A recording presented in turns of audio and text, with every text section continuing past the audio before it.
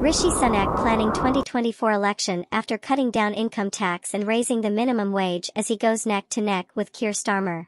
Labour's poll lead cut to 14%, the smallest since Rishi Sunak became PM. Rishi Sunak is plotting a general election in autumn next year after unveiling tax cuts and a boost to the national living wage, it has been revealed. This is because he wants to allow his efforts to boost people's incomes to bed in before an election campaign, they said. Rishi Sunak plotting autumn 2024 election after slashing income tax and increasing the minimum wage in search of victory as polls tighten Labour's lead to the narrowest of his premiership. Rishi Sunak is plotting a general election in autumn next year after unveiling tax cuts and a boost to the national living wage, it has been revealed. The Prime Minister's allies have dismissed claims that he will go early and take the country to the polls in May 2024. This is because he wants to allow his efforts to boost people's incomes to bed in before an election campaign, they said. Mr. Sunak is reportedly considering a cut in the headline rate of income tax and a rise in the national living wage from £10 and 42 pence to £11 and 16 pence an hour or more next April. It is thought this will help encourage voters to feel they are recovering from the cost of living crisis before they make their choice at the ballot box in autumn 2024.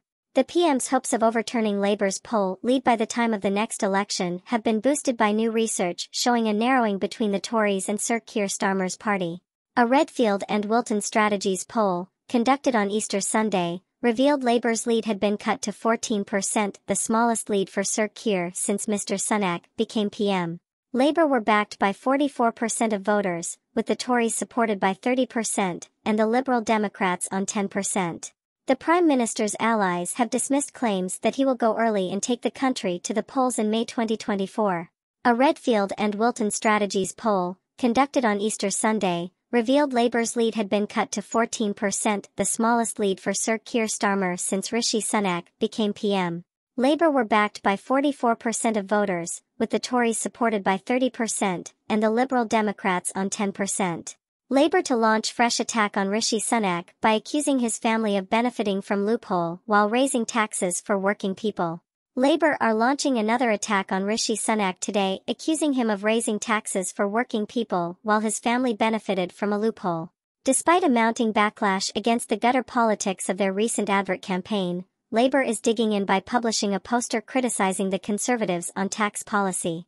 Labour sparked fury last week when it shared an image on Twitter which suggested Mr. Sunak does not believe adults convicted of sexually assaulting children should go to prison. It was condemned across the political spectrum, with a host of senior figures in Labour urging the party to take it down. However Labour leader Sir Keir Starmer told the Mail that he stands by every word. It has since sparked accusations of hypocrisy as it emerged that Sir Keir attended 21 meetings to help draft sentencing guidelines that can see convicted pedophiles avoid prison, before Mr. Sunak became an MP.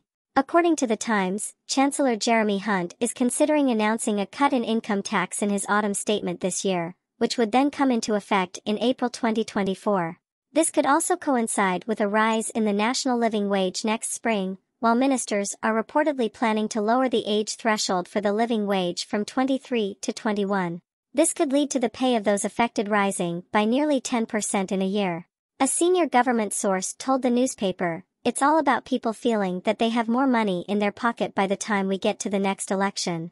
An ally of the PM dismissed the prospect of Mr. Sunak announcing an election before the summer of next year. There will be a big fiscal event in spring of next year, and we need time for that to bed in, they said. Mr. Sunak has until January 2025 at the latest to call a general election. The Daily Telegraph also reported that Mr. Sunak is planning for a general election in autumn next year rather than spring 2024, with October and November put down as provisional dates. This would allow Mr. Sunak two years as PM before facing a vote, while it would also give him a greater time period to fulfill his promise to stop the boats crossing the channel. Paul Johnson, head of the Institute of Fiscal Studies, said that Britons were unlikely to feel much better off financially by next spring. In one sense things will look better. Inflation will be a lot better than it is at the moment. Wages might well be starting to rise faster than prices, he said. But I don't think people will be feeling terribly chipper.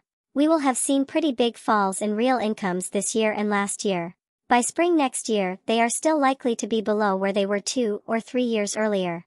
Polling expert Sir John Curtice agreed Mr. Sunak would be looking to autumn next year for a general election. I've long since taken the view that October or November of next year has to be the most likely date, he told GB News. By going for as long as possible, the Conservatives maximize their chances that they can achieve a political recovery. The PM will only go early if there is a fairly dramatic turnaround in the polls by the spring of next year that makes him believe that perhaps he's got a chance of winning. The Liberal Democrats today pointed to new research that revealed average earnings for a full-time worker went from £27,493 in 2021 to £26,038 last year, after income tax and national insurance were deducted and pay was adjusted for rising inflation.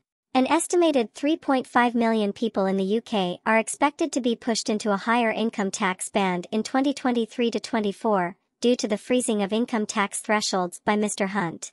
Lib Dem MP Sarah Olney, the party's Treasury spokesperson, said, British workers are seeing their wages squeezed with a stealth tax rate at a time when millions are already feeling the pinch. Share or comment on this article. Rishi Sunak plotting autumn 2024 election after slashing income tax and increasing minimum wage.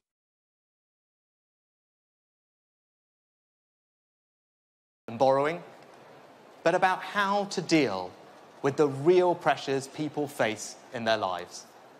And right now, we are facing challenges to supply chains, not just here, but right around the world. And we are determined to tackle them head on.